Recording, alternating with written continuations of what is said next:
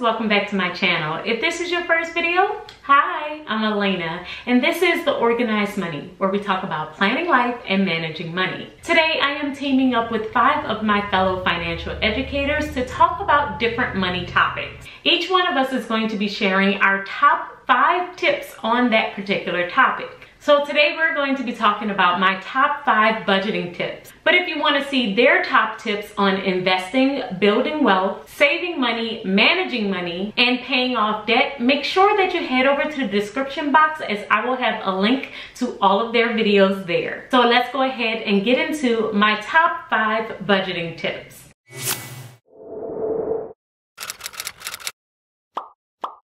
Tip number one is to plan your budget day. I'm always talking about routines and habits when it comes around to planning your day, but having a specific day and time that you plan out your budget is essential to making sure you're successful at budgeting. One of the top reasons that most people don't budget is just because they don't set aside a specific time that they're going to do it, which means their paycheck just hits their account, they pay their bills, and they just go on with their day. But if you set a specific day day time that you're actually going to budget your money, you're more than likely going to be more successful with the budgeting process. I have a specific money routine that I complete on a weekly basis every single time that I get paid. And this puts me in the habit of checking in on my money on a weekly basis and also make sure that we don't overspend. So I highly, recommend that you create some type of money routine and try your best to make this routine as fun or as comfortable as possible. Get your favorite drink, turn on some music if you like,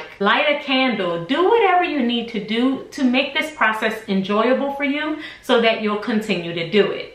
If you want to see my full money routine, you can check out the link above, but just make sure that you establish some type of routine for yourself so that you can enjoy the budgeting process. My second top budgeting tip is to learn your money history and your money personality. Learning the act of budgeting of how to put the numbers down on a sheet of paper is only 20% of the issue. A really big part of your financial health is going to come down to how much you know yourself, your behavior, and your history with money. And knowing your money personality can really help you explain knowing how and why you spend money the way that you do.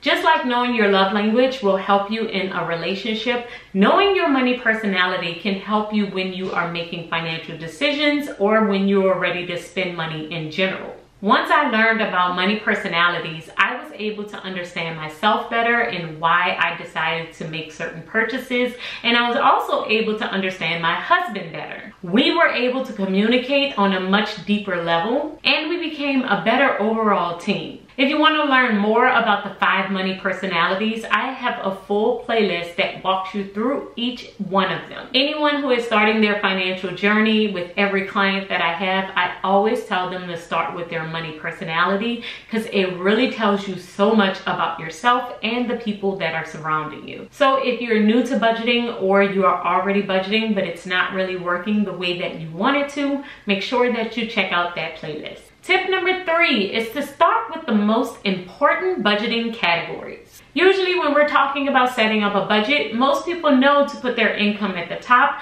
but then when they get to their expenses, they will just randomly add all of their expenses. The issue with that is that all expenses are not equal. There are some categories that are way more important than other categories. So you need to add the most important categories first. Saving should be the top line on your budget because it's the equivalent of paying yourself first. This process is really about the routine of saving. We want you to develop the habit. So even if you're only setting aside $10 every single time that you get paid, slowly over time, it will start to grow. So even if it's a little amount, I definitely want you to put saving at the very top of your budget. After saving is going to be four more categories shelter, transportation, food, and utilities. These are the four things that you need in order to survive, which is why they should be the next four line items on your budget.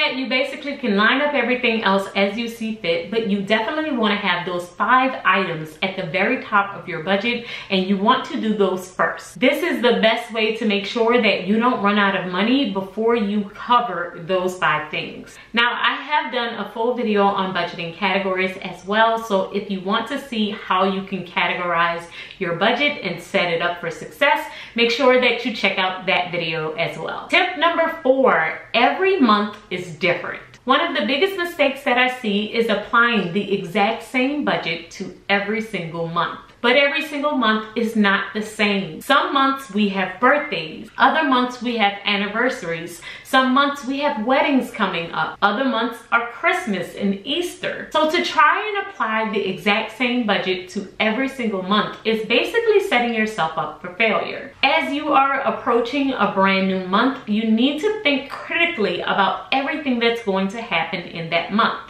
Think about, are there any big purchases that you need to make? Are there any events that you need to attend? Think about everything that could be going on in that month just to make sure that you aren't forgetting something that's going to cost you money. So there are a couple things that I like to do to make sure that I stay on top of this process. The very first thing is planning out my month. I plan out my month for my life in my planner. So then that way I could glance over everything that's coming up in my planner and see if it's going to cost me money. If it is something something that's going to cost me money, I add it to my budget planner as well. Another thing that we do is we have family meetings every single month before we start a new budget. That way, even if I don't have anything planned, if my husband does or we have something that we have to do for the kids, we're able to add that to our budget planner as well. But approaching each month differently will definitely help you when you are looking at your money. If you know you have something coming up in one category, then you can cut back in another category. So if we know we have to get a gift, then sometimes we'll cut down in our entertainment category. That way we ensure that we don't overspend and go over budget. And tip number five is to develop a strategy for budgeting categories that you usually overspend on. So most people overspend in their budget in three categories. The very first one is food, the second one is shopping, and the third one is entertainment.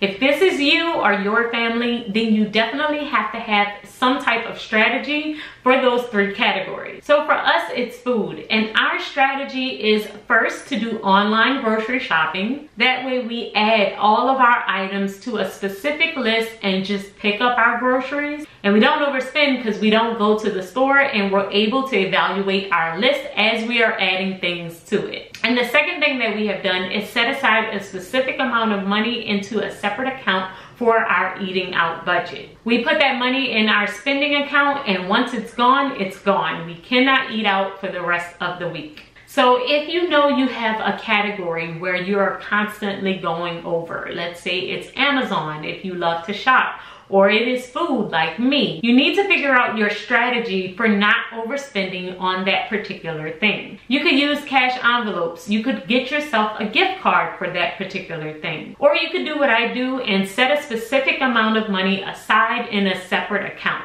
But either way, you need to figure out your strategy so you can set yourself up for success. Figuring out your strategy and tracking your spending on a daily basis will definitely help you overall with budgeting. So guys, those are my top five budgeting tips. Make sure that you check out the description box as I will have the link to all of the other ladies videos and their topics. I'll see you guys next time and until then, keep organizing your life so that you can achieve your dreams. Bye guys.